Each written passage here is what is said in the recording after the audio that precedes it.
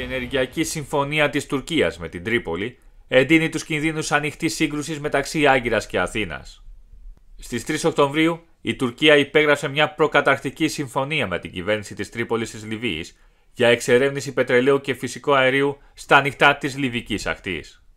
Ο Υπουργός Εξωτερικών της Ελλάδας Νίκος Δένδιας κατηγόρησε την Τουρκία ότι εκμεταλλεύεται την ταραγμένη κατάσταση στη Λιβύη για να αποσταθεροποιήσει περαιτέρω την ασφάλεια στην περιοχή της Μεσογείου και να δημιουργήσει μια περιφερειακή ηγεμονία.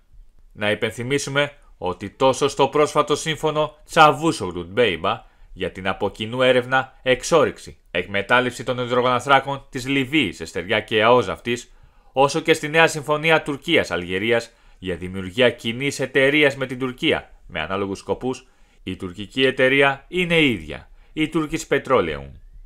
Να υπενθυμίσουμε ότι τον Νοέμβριο του 2019 η Άγκυρα ανακοίνωσε ότι είχε υπογράψει συμφωνία με μία από τις δύο αντίπαλες κυβέρνησεις στη Λιβύη, αυτή στην Τρίπολη και όχι στη Βεγγάζη, για την οριοθέτηση νέων θαλασσίων συνόρων. Η προτινόμενη γραμμή σε αυτή τη συμφωνία μεταξύ Λιβύης και Τουρκίας βρίσκεται κοντά στο ελληνικό νησί της Κρήτης. Η Ελλάδα και η Αίγυπτος προσπάθησαν να ανακτήσουν την πρωτοβουλία το 2020 με ένα σύμφωνο να ορίσουν τη δική τους αποκλειστική οικονομική ζώνη, η ΑΟΣ, στην Ανατολική Μεσόγειο.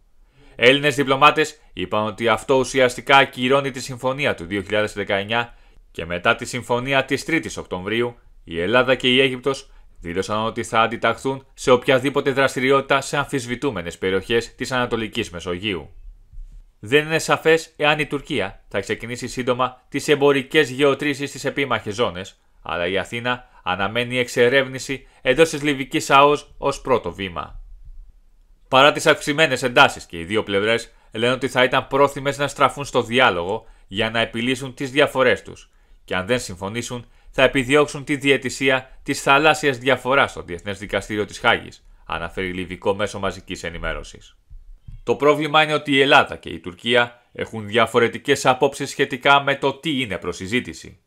Η Ελλάδα δέχεται μόνο τις θαλάσσιες ζώνες ως θέμα για συνομιλίες, ενώ η Τουρκία θέλει να αντιμετωπίσει ένα ευρύτερο φάσμα θεμάτων, όπως η κυριαρχία στα νησιά και η αποστρατικοποίησή τους. Ευχαριστούμε που μας παρακολουθήσατε. Για να λαμβάνετε πρώτοι όλες τις νεότερες εξελίξεις, κάντε like και εγγραφή στο κανάλι μας ξεχνάτε να μας κάνετε σχόλια με την άποψή σας.